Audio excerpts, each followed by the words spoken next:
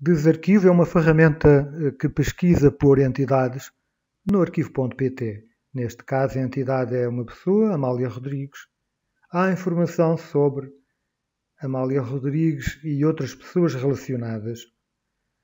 Eu vou selecionar uma figura relacionada com Amália Rodrigues, Alan Ullman, e ver se o arquivo tem notícias ou dados, informação sobre o que eu procuro.